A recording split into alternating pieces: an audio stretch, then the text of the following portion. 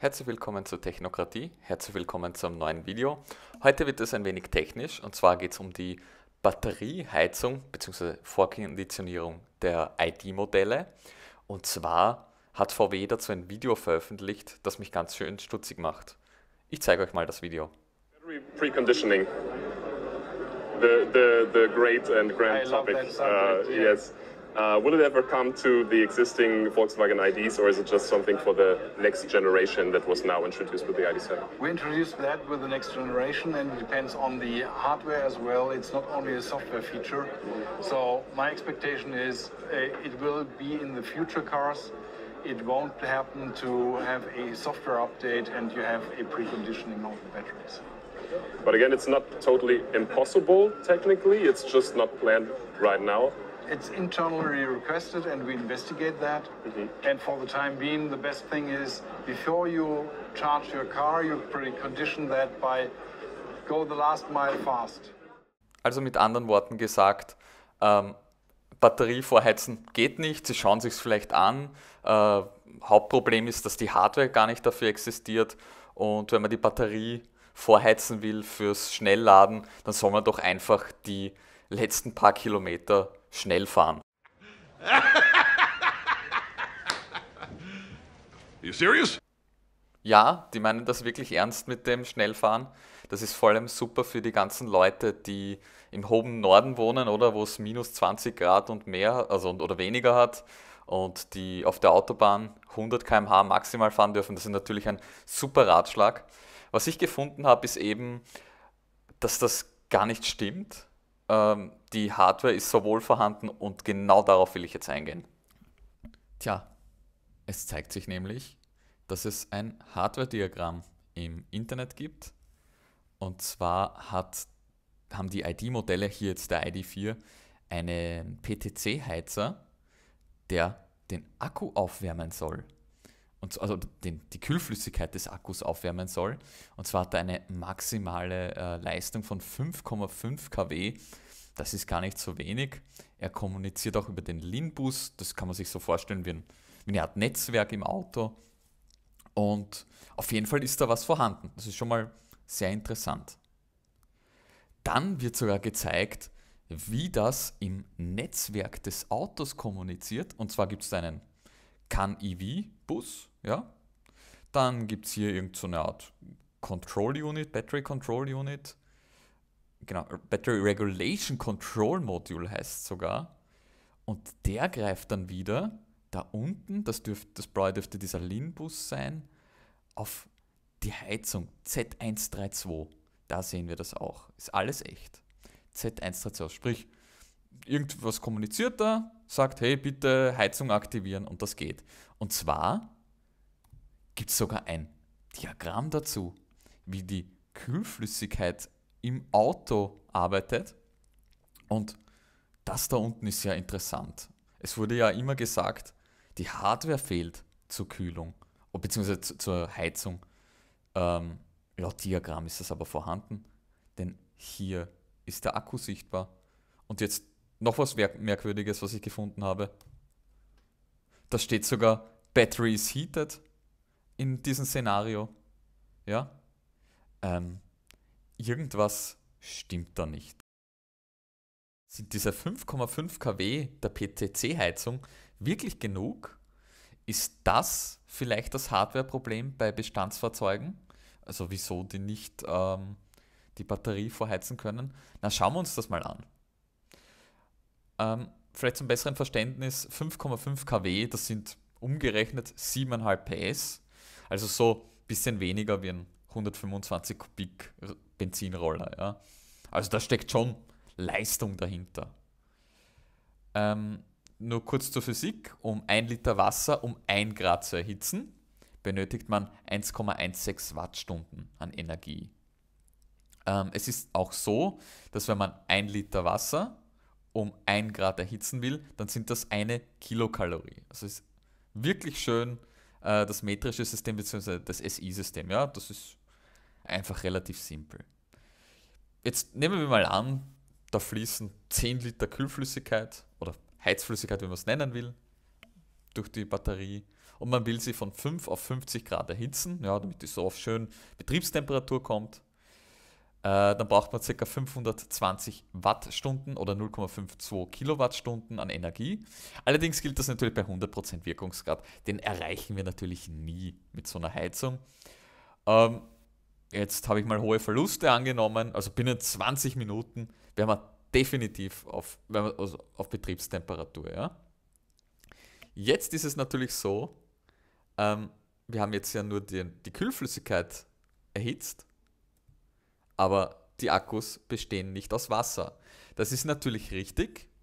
Äh, Aluminium und, und Lithium und alle Metalle, die da drinnen sind und auch der Kühlkörper, also der, die, äh, der, das Akkugehäuse an sich, ja, sind ja aus Metall, aus Metallen und die haben verschiedenste Wärmekapazitäten, verschiedenste äh, Wirkungsgrade, verschiedenste äh, einfach Parameter, wenn man so will.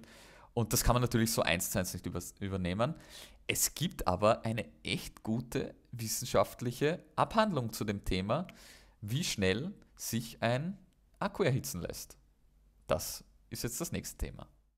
Ja, und hier haben wir auch schon das Dokument, und zwar aus dem Jahr 2021, zum Thema technische Fragen zum Temperieren von Lithium-Ionen-Batterien. Also genau das, womit wir uns bei dem Video beschäftigen. Und zwar haben die folgendes gemacht. Die haben einen Tesla genommen mit 93 äh, Kilowattstunden Akku und gesehen, wie der, die Batterie heizt. Und zwar heizt er mit maximal 6 kW und die haben dann festgestellt, ähm, die Temperatur steigt in etwa um 0,5 Grad Celsius pro Minute. Sprich, um unser Beispiel zu nehmen, in 20 Minuten hätten wir eine um 10 Grad höhere Temperatur des Akkus. Nun, jetzt kann man sich denken, hm, was sind denn 10 Grad? Das dauert schon lange nach 20 Minuten und da braucht man auch wieder Leistung von der Batterie. Jetzt stellt sich aber nämlich heraus, bei kleineren Batterien ist entsprechend eine geringere Heizleistung notwendig oder nötig in dem Fall. Nun, ähm, der ID4 in der höchsten Ausstattung hat einen 77 Kilowattstunden Akku. Der ID3 gibt sogar einen 58 äh, Kilowattstunden Akku und sogar, also zumindest gab es das einmal mit 45 Kilowattstunden. Also alles kleinere Akkus, sprich weniger Gewicht, äh, weniger Bauraum und ja, da gibt es halt mehrere positive Effekte dafür. Nachdem die auch aussagen, dass man mit 6 kW, dass die ausreichen, um das zu heizen, ähm, und der, der ID4 oder die ID-Serie kommt mit einem 5,5 Kilowatt äh, PTC-Heizer daher, dann ja, sollte das möglich sein. Also auch hier diese wissenschaftliche Abhandlung äh, spricht jetzt nichts gegen diesen 5,5 kW Heizer an im ID. Natürlich sollten wir uns auch ansehen, was die Konkurrenz so macht. Also zum Beispiel Hyundai. Haben die irgend so einen, einen magischen PTC-Heizer drin mit 100 kW oder mehr? Na, schauen wir uns uns einfach an.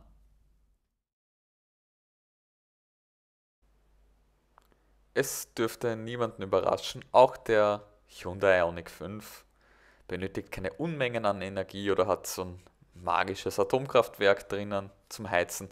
Nein, er benötigt 4,4 kW, das ist ein User-Bild Hyundai hat nämlich äh, diese Funktion nachgeliefert via Software.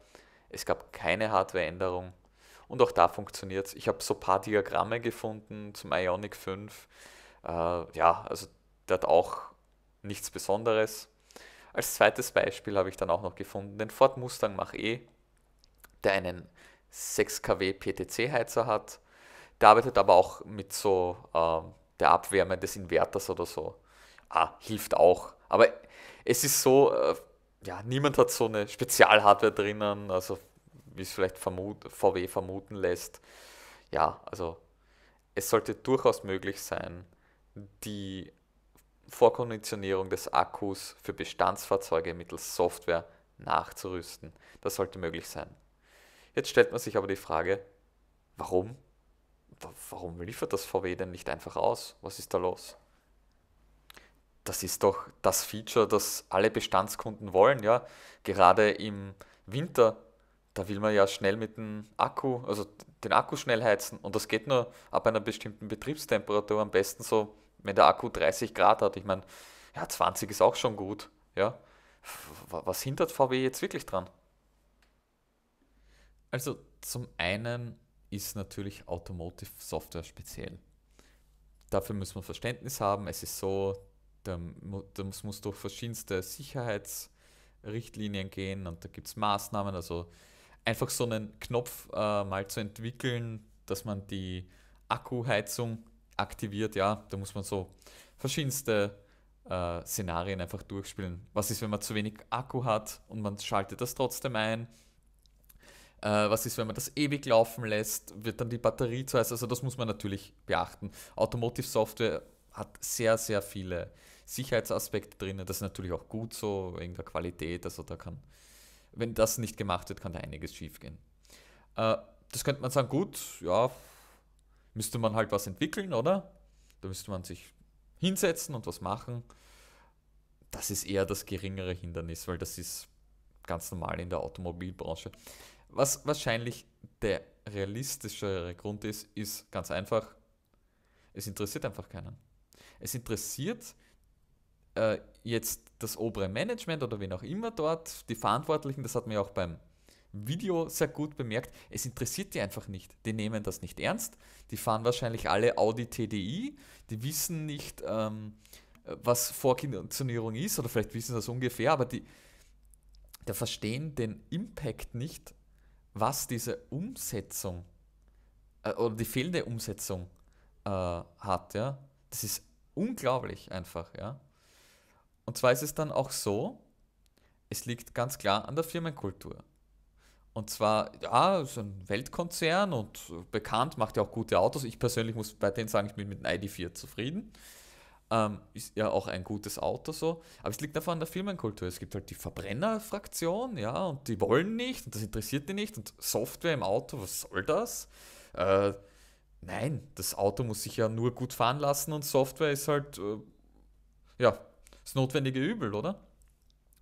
Und dann gibt es natürlich die ID, also habe ich schon etwas erwähnt, ID versus Verbrennerfraktion. Die ID-Leute, das sind die Jungen, das sind die, die sich was trauen, die haben Vision und dann werden die halt gebremst von der Verbrennerfraktion. Das Problem ist, diese Verbrennerfraktion sitzt halt im Management. Auch wenn die hundertmal sagen, ja, wir sind für Elektromobilität und alles und bla bla bla, das sind die, die im Management sitzen und dann sagen, wie viel kostet das, die Batterieheizung? Was? 3 Euro pro Auto mal eine Million verkaufte Autos sind 3 Millionen. Ihr seht schon, wo ich hin will. Das ist aber so, wie die denken. Und das ist traurig. Man sollte eben nicht in Stückzahlen denken, sondern in, was ist am besten für den Benutzer? Was ist am besten für den Autofahrer, beziehungsweise für den Elektromobilisten? Und da sind die noch lange nicht dort. Das hört man ja im Video. Die nehmen die es einfach nicht ernst. Es sind die falschen Leute im Management. Ist so. Ja? Und was kann man jetzt da für Maßnahmen setzen? Die einfachste Maßnahme ist, ja, man nimmt den Blume und wie die alle heißen, mir egal, ja, und Betriebsräte und keine Ahnung, und setzt die mal, auch wenn ich kein per se kein hundertprozentiger Tesla-Fan bin, man setzt die einfach in einen Tesla, Model S, Model 3, und sagt, so, werte Herr Blume, jetzt fahren wir von Wolfsburg nach Rom. Und zwar ohne Vorbereitung. Und dann wird denen ein Licht aufgehen und sagen, verdammt nochmal, wenn wir Batterievorheizung haben, eine tolle Software, ähm, Konnektivität, eine super Handy-App, dann braucht man ja keine Reichweitenangst haben, weil das funktioniert ja vollautomatisch. Das ist bei denen noch nicht angekommen. Und was denen auch noch fehlt, ist, vielleicht sollten die mal zum Rewe oder Billa oder, oder äh, halt zum Lebensmittelhandel gehen sich so einfach zwei Hühnereier nehmen, oder? In die Hand, um mal festzustellen, wie es sich anfühlt, Eier zu haben, ja? Eier zu haben, sich was Neues zu trauen. Eier zu haben, mehr Leute, also die richtigen Leute zu involvieren, ja? Die Jungen, sich äh, wirklich komplett ähm, äh, komplett alle, alles involvieren, also selbst die dümmsten Ideen mal auszuprobieren. Das gehört, das gehört gemacht. Ja. Mehr in Richtung Software Engineering vielleicht zu gehen, aber weiterhin die gute Qualität äh, zu behalten. Also auch, auch, alles, was so eben das Automobil selbst betrifft. Ja. Was, das Ziel muss es sein, wenn man den Portier fragt, warum ist er hier? Dann muss er antworten, ich bin hier, um die besten Elektrofahrzeuge herzustellen und ich helfe dabei. Wenn man diese Firmenkultur erreicht hat, dann hat man es geschafft. Dann diskutiert man auch nicht über Batterievorheizung und hahaha und lalala und alles ist äh, erst für die neuen Modelle verfügbar. Nein, dann macht man das von Anfang an. Dann hört man auf mit den hunderten Variationen, die es gibt, mit den X-Akku-Modellen und so weiter. Man muss es so machen, es gibt nur mehr ein Modell, von mir aus mit, natürlich die, mit Farbe kann man wählen und vielleicht noch ein bisschen die Innenausstattung, aber Schluss mit dieser Variantenvielfalt. Äh, ein Auto, speziell ein Elektroauto, muss voll ausgestattet sein. Und durch die Vollausstattung gibt es auch Skaleneffekte. Und zwar dann bestellt man einmal bei allen etwas, ja, zig Stück und das hat jeder drinnen. Das machen die Japaner seit Jahrzehnten so. Und darum sind die auch von der Qualität super. Äh, sie sind vielleicht nicht so innovativ, das kann durchaus sein, aber dafür haben die eine, eine gute äh, Verbindung mit, mit den Geschäftspartnern. Das gehört ja auch zum Lean-Prinzip, nennt sich das. Die leben ja auch Kaizen. Und, aber ich will jetzt kein Coaching da machen, ja. Aber das fehlt denen einfach. Und das hat man beim Video absolut gemerkt. Das war es auch schon wieder zur vermeintlich unmöglichen Vorkonditionierung für den Akku bei den ID-Bestandsfahrzeugen. Ich wollte mit dem Video ein neues Format ausprobieren. Ich bitte ebenso um euer Feedback, das könnt ihr gerne in den Kommentaren unten geben. Über ein Like und ein Abo würde ich mich sehr freuen. Es wäre sicher auch interessant zu wissen, ob euer Elektrofahrzeug äh, eine Vorkonditionierung hat. Vielleicht mit ein paar technischen Details. Ist sicher interessant. Wir sehen uns dann sicher beim nächsten Video.